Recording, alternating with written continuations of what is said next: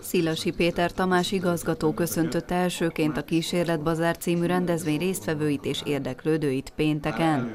A Mobilis a tavalyi nagy sikerű program után idén is megrendezte a második Győri Tudományfesztivált, a régió legnagyobb tudomány népszerűsítő találkozóját, melyet az önkormányzat is örömmel fogadott. Az önkormányzat intézménye Mobilis számtalan kezdeményezéssel tudja segíteni azt, hogy a tudományt népszerűsíteni lehessen. Ez a mai Kísérletbazár, illetve Győri Tudományfesztivál rendezvényre is igaz, és nagyon büszkék vagyunk arra, hogy a mi intézményünk képes arra, hogy megszólítsa a gazdasági élet szereplőit, megszólítsa a helyi felsőoktatási intézményt, és ők együtt közösen középiskolásoknak, általános iskolásoknak tudjanak egy olyan rendezvényt megtartani, illetve szervezni, ami azt szolgálja, hogy a körükben is a tudomány az népszerűsítésre kerüljön, és őket később a műszaki életpályák felé orientálják. Az intézmény köré épített standoknál 13 város, 18 iskola, vagyis összesen 30 kreatív csapat mutatta be a nagy közönségnek kísérleteit, saját fejlesztésű eszközeit. Ezek az iskolák, illetve ezek a csapatok mind azt bizonyítják, hogy bizony a gyerekek érdeklődnek a középiskolában is a természettudományok iránt, és csak meg kell nézni majd a srácoknak a szemét,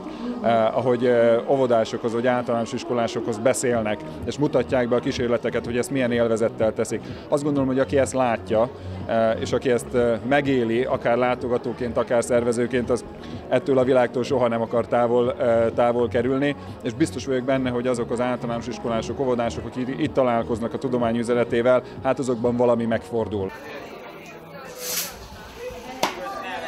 A kísérlet bazár jó példa arra, hogy a természettudományok a gyakorlatban izgalmasan taníthatók és elsajátíthatók. Tavaly is itt voltunk, a koncepciónk a sufni szertár, hogy a le, gyakorlatilag hulladékokból itt is látszódott, hogy szemétnek ítélhető PET palaszból hozzunk létre minél jobb kísérleteket, és a, szeretnénk közelebb hozni a diákokhoz a fizikát, és ez a klasszikus régi változatot akarjuk, hogy magának összebücskölik. Tehát nem ez, mint most, hogy egy robot, amit megvehet egybe, és gyakorlatilag nincs hozzáadott érték, hanem a lehető legtöbb hozzáadott értékünk legyen.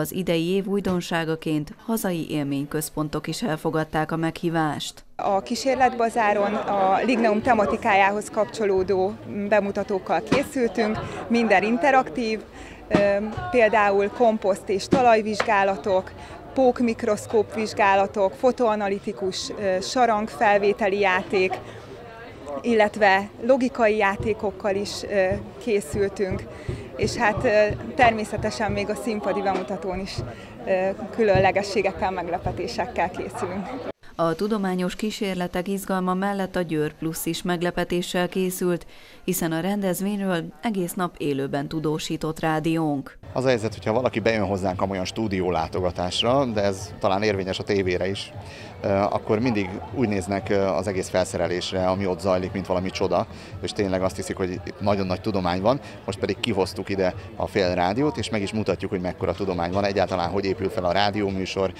milyen számítástechnikai háttér szükséges ahhoz, hogy mi műsort tudjunk készíteni, és ebben nyújtunk betekintést. A Mobilis egyedi programjával a természettudományos oktatás megújulását, fejlesztését szolgálta, de segített abban is, hogy az oktatási intézmények közelebb kerüljenek a gazdasági élet képviselőihez.